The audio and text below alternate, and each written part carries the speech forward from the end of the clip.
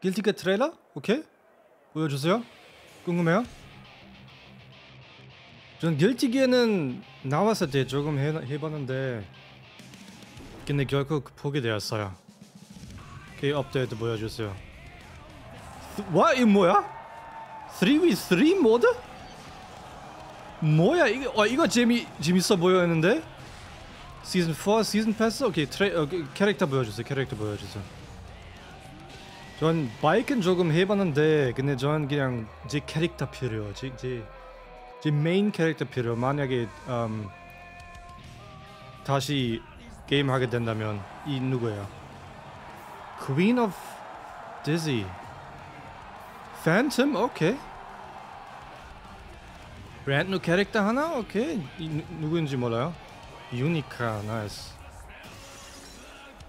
그리고 아 세례 캐릭터?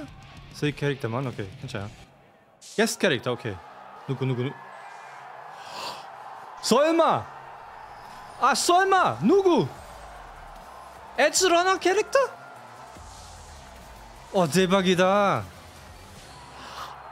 루시 대박.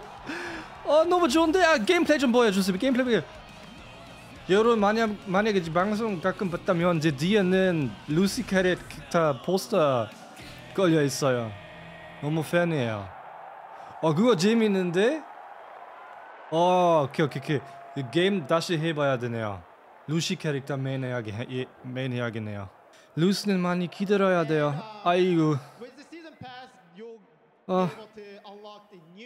케이 그때까지는 and 철권. also you'll be able to get 그때까지 new 철권, gold 리디아. characters, which is